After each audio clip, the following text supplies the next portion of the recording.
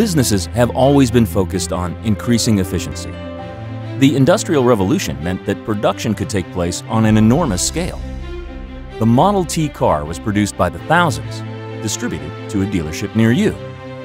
This was a great time for America.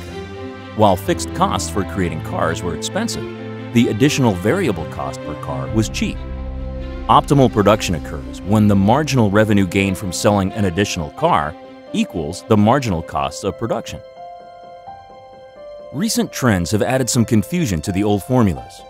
What happens when the marginal cost approaches zero?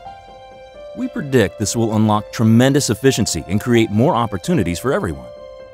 But how does this happen exactly? Enter the digital revolution. Advancing technology in transportation and telecommunications meant production could occur wherever labor was cheapest. Outsourcing jobs was just the beginning. Automation and computer software have replaced jobs typically thought of as human. Furthermore, increased access to information means that consumers can bypass traditional marketplaces. These forces have started to reduce the marginal costs in many industries to near zero, meaning many goods and services are becoming nearly free.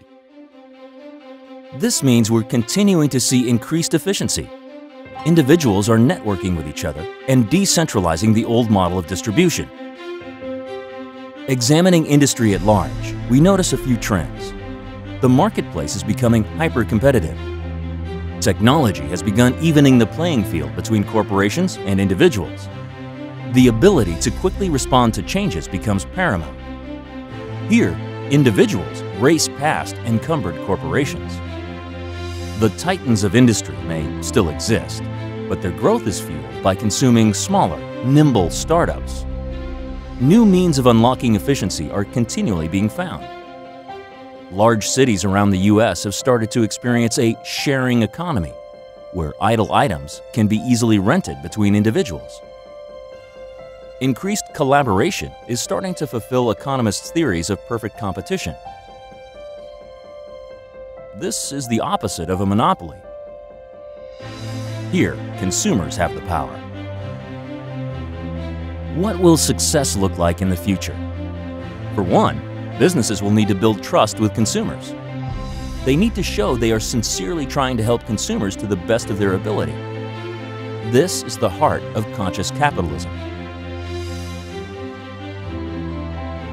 Second, businesses will need to keep up with the pace of innovation this may mean some jobs are phased out in the short term, but new kinds of jobs will continue to pop up in the future.